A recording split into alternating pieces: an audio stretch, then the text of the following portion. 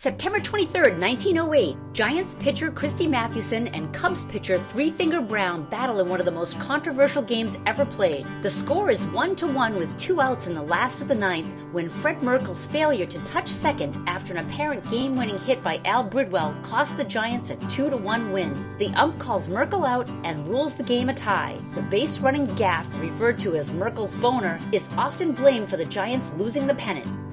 September 23, 1905, 18 year old Detroit rookie Ty Cobb hits his first home run and inside the park blow off Cy Falkenberg in an 8 5 loss at Washington.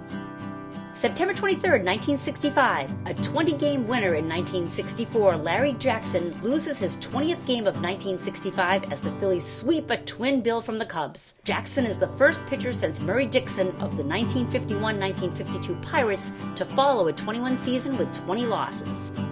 September 23, 1983, Steve Carlton becomes the 16th pitcher in Major League history to win 300 games, and the Phillies inch closer to the National League East title with a 6 2 win over the Cardinals.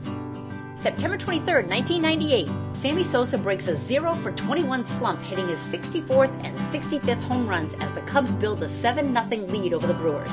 With his eight total bases, Slammin' Sammy has now topped the 400 mark for the season.